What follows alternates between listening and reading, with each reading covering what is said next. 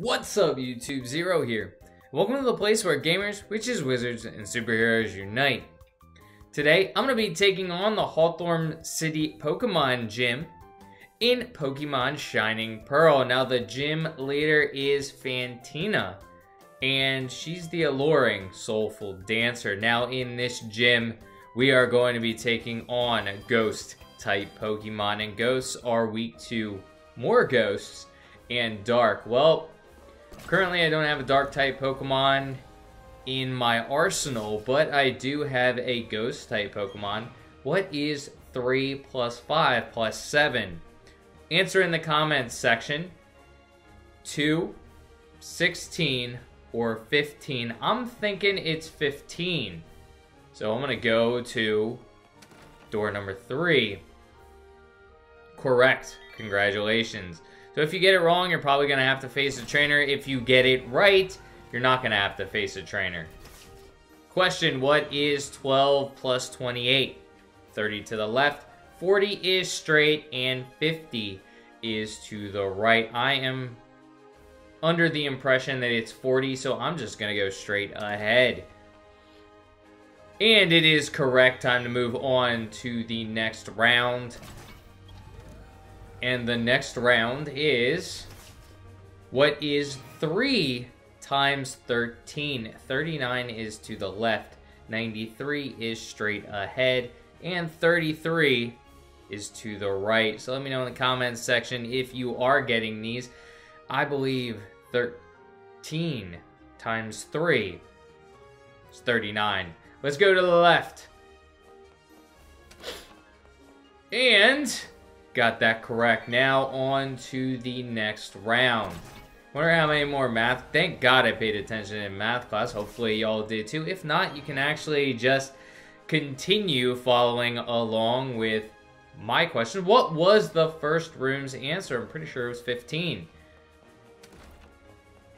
And it looks like we are on the gym leader. We were able to answer all of those math questions as well as remembering our answer to the first room. She said finally she is so happy to see us. Of course, I'm happy to see her as well. Personally, I would be a ghost gym leader as well if I was a gym leader.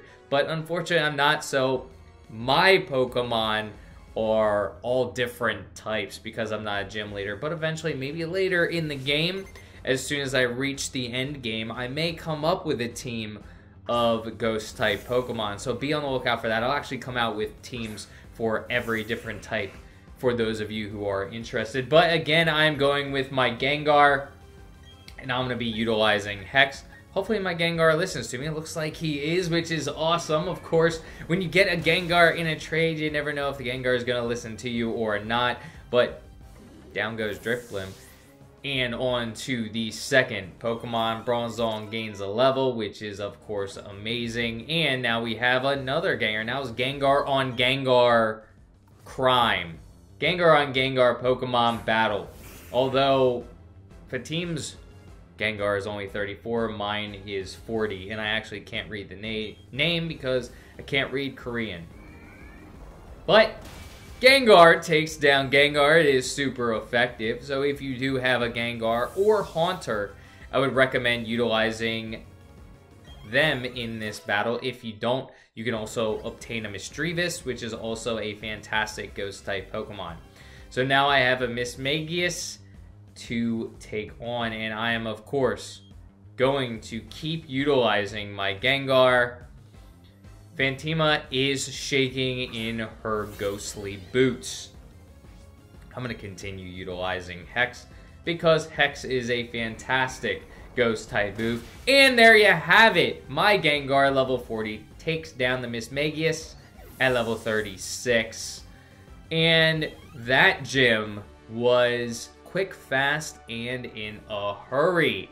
So I hope you enjoyed this video, and if you did, feel free to give it a thumbs up and hit that subscribe button for more Pokemon content. I do a bunch of other RPGs, so feel free to check those out as well. And until next time, peace.